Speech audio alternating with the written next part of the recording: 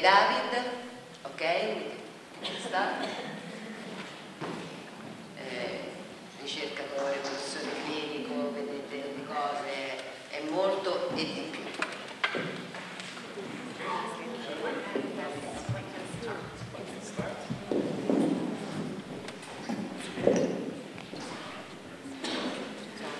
Buongiorno. That's the beginning and the end of my Italian. Now I can say lasagna and spaghetti. and I like lasagna and spaghetti. So, good morning, everyone. And uh, first of all, I would like to thank you, Magda, for inviting me. It's an honor and it's a pleasure to be here. And uh, we have uh, we have time for today and tomorrow to talk about uh, attachment in children with autism. Um, and, uh, and about uh, parenting, about parenting children with autism, and in particularly the role of uh, insightfulness and resolution in promoting secure attachment uh, in autism. Uh, and I have an assistant here who will help you to uh, understand better what I have to say. So, should okay. we start?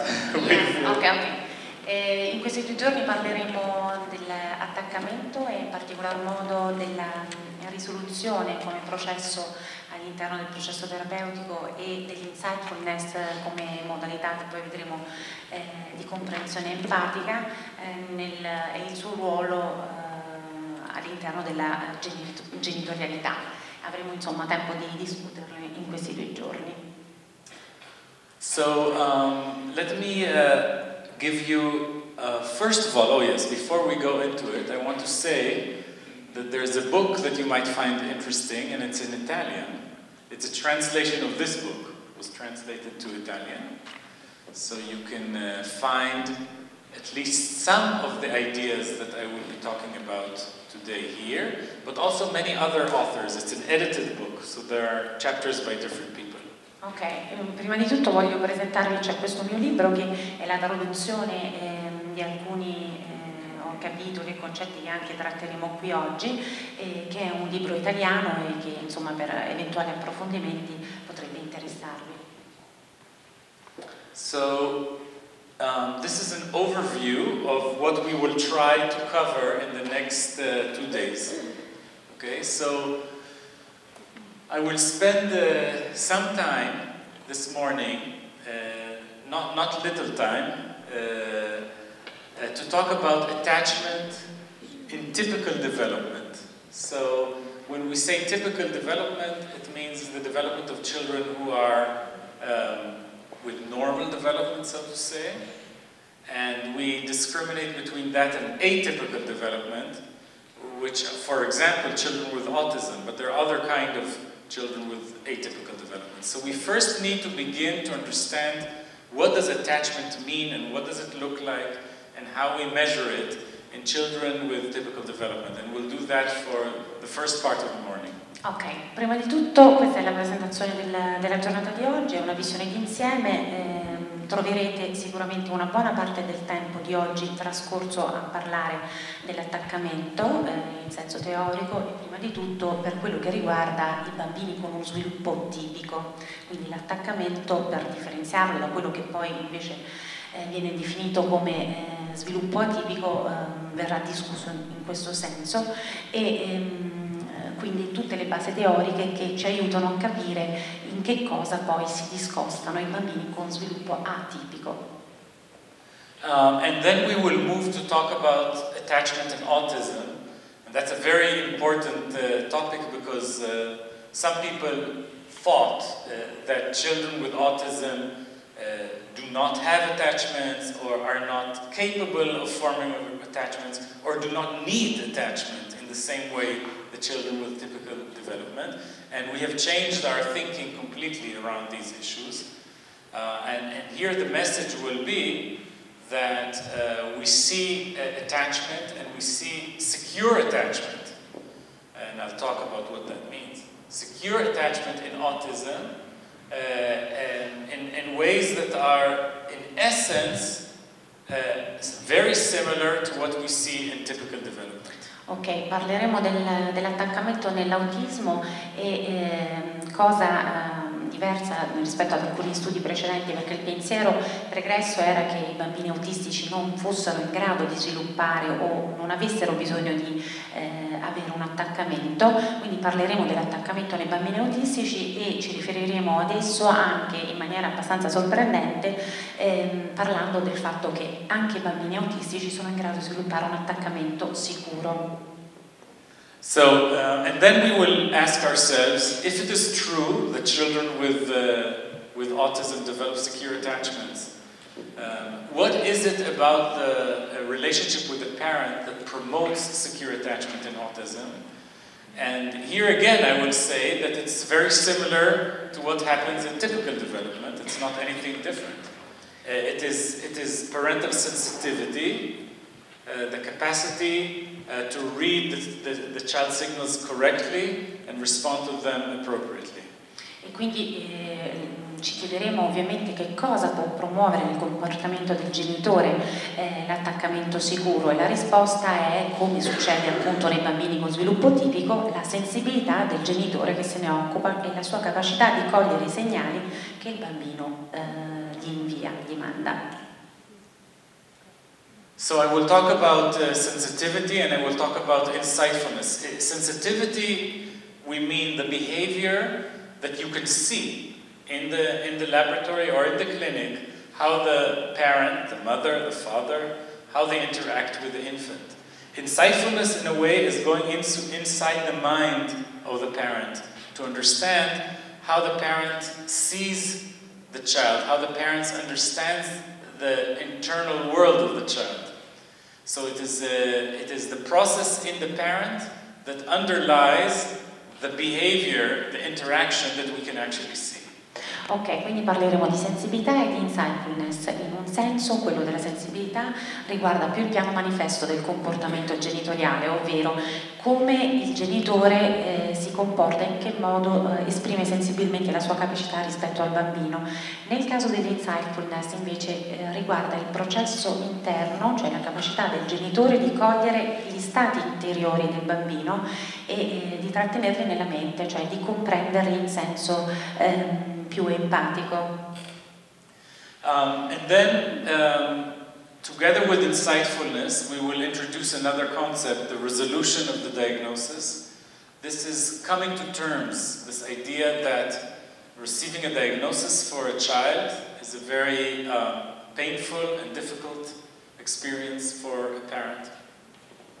And the parent has somehow to go through a process of coming to terms with this. And that is essential for sensitive parenting. Uh, if, if the parent has not really come to terms with this, then it will be very difficult for them to see the child as the child really is. Uh, and they will respond to the child they wish they had instead of the, the child they really have. So I will talk about that as well and how that combined with insightfulness is really important for a, a secure attachment in the child.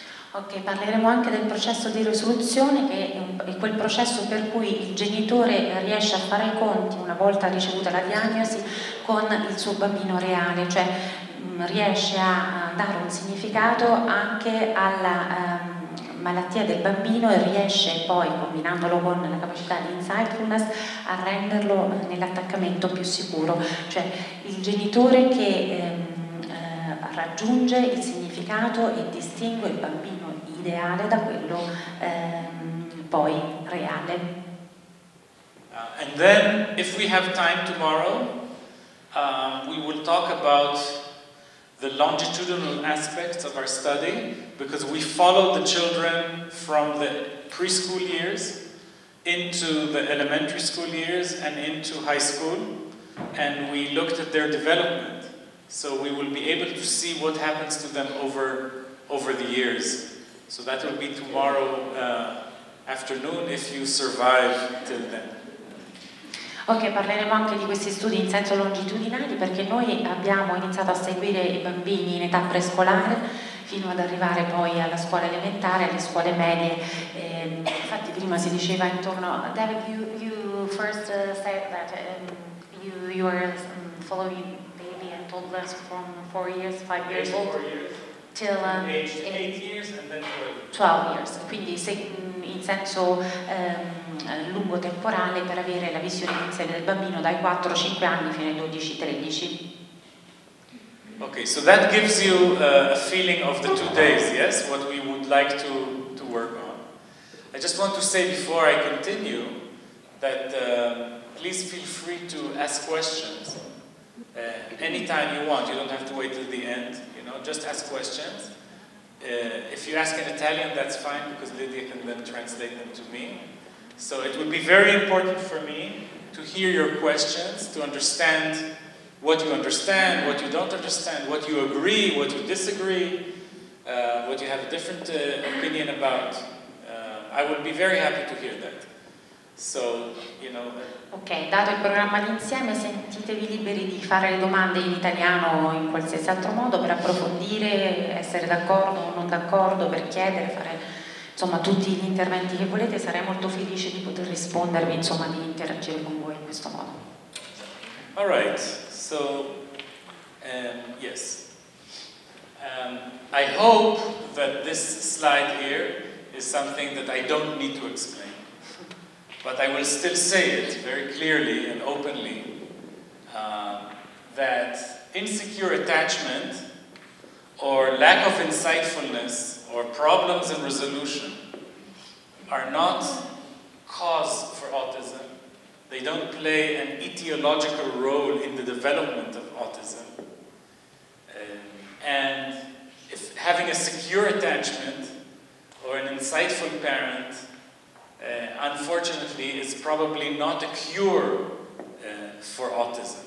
Okay, we're not talking about it as a reason for the disease, so to speak, or the condition, or as a cure.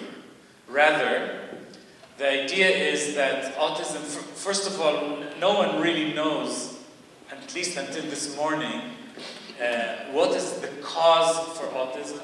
There's probably many, many causes and many different types of children, and there's lots of research on it, and we will all be very happy um, if, we, if they will find the cause and we will have no work, and we can find some other problems to deal Ok, ok, eh, sono spiacente di doverlo chiarire ancora una volta, però lo faccio perché è molto importante farlo anche qui, cioè che eh, l'attaccamento insicuro assolutamente non è quello che provoca l'autismo, né tantomeno la capacità più o meno ehm, eh, di sensibilità o in- insensibilità in senso empatico eh, del genitore a produrre l'autismo e tantomeno l'attaccamento sicuro ehm, è una valida cura in senso terapeutico per quello che riguarda l'autismo. Mm, Sfortunatamente fino ad oggi nessuno di noi ha ancora diciamo, la chiave per eh, la comprensione piena del- delle- di ciò che causa eh, l'autismo eh, né eh, la cura in senso definitivo, quindi ehm, anche in questo caso è importante chiarire che le reazioni che noi faremo oggi non riguardano né ehm, il senso appunto eziologico né quello più strettamente ehm, eh, terapeutico, quindi l'insightfulness e la sensibilità non hanno un ruolo diretto né eh, nel senso della cura né nel senso della causa. And uh, this is, of course, important to say because, as you know, the history of our field, there were, there were these ideas that, that autism uh, is, a, is a reaction to some traumatic event that happened or something in the mothering that was so horrible for the child that the child had to withdraw into an autistic uh, shell or, or something like that. And we really do not have any evidence at all that that is true. In fact, that is not true. Um, but what are we saying? We're saying that children with autism, um, like other children with special needs, that have handicaps, that have disabilities of other, other sorts, physical disabilities, um, other kind of mental disabilities, children who are blind or deaf, and so forth. These children need the support of their parents, maybe even more than children with regular development. And if they get that support, if they develop a good secure attachment, then that, we believe, will promote their development. It will help them maximize the potential that they have inside of them. Okay? So it's not about cure and disease, but it is about creating the conditions for children to maximize their developmental potential. Ok, quello di cui parliamo quindi è qualcosa che non riguarda né la cura né la causa del disagio, ma semplicemente il modo in cui possiamo massimizzare il potenziale di un bambino, niente a che vedere con la vecchia idea della genitorialità o della madre che non riesce a trasmettere al bambino eh, il senso di eh, niente a che vedere con, con, la relazione materna sbagliata rispetto al bambino eh, con autismo, perché esattamente come i bambini con bisogni speciali, anche i bambini autistici, quindi eh, rispetto a ciò che faceva riferimento a disabilità fisiche e quant'altro, a maggior ragione dei bambini con, con sviluppo regolare, hanno bisogno eh, di un genitore che se ne occupi, che se ne prenda cura. Ok, so are we okay for now? Everything is defined? Questions, comments? Okay.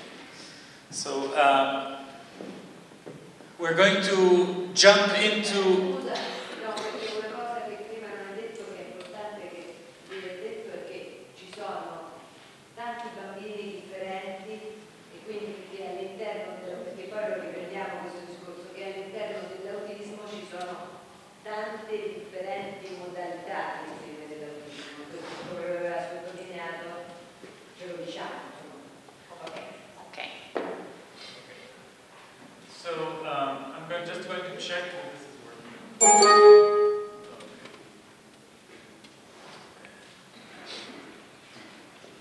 It will take me one minute.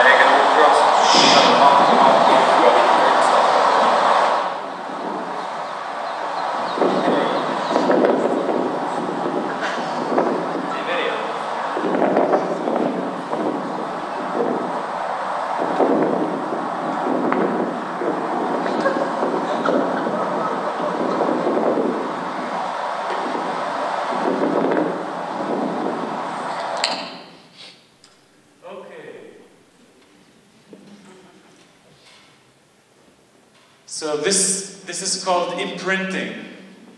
Questo è ciò che chiamiamo imprinting. Imprinting.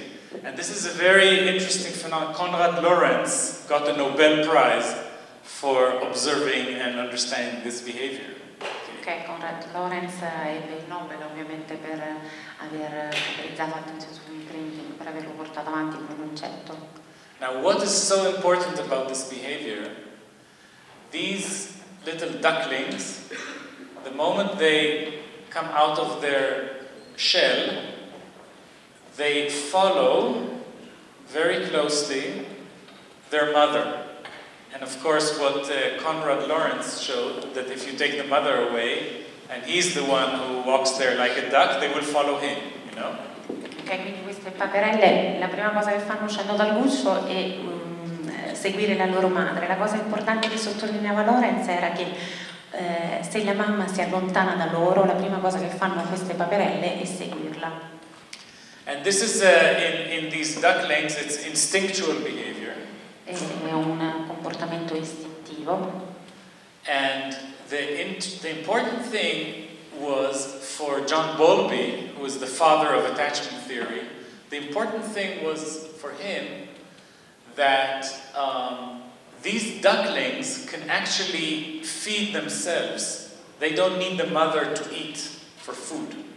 Okay? La cosa importante che aveva rilevato John Bowlby era che, che queste paperelle eh, non hanno bisogno della loro madre per essere eh, accudite in senso alimentare, non hanno bisogno di mangiare con la loro madre, possono farlo da sole.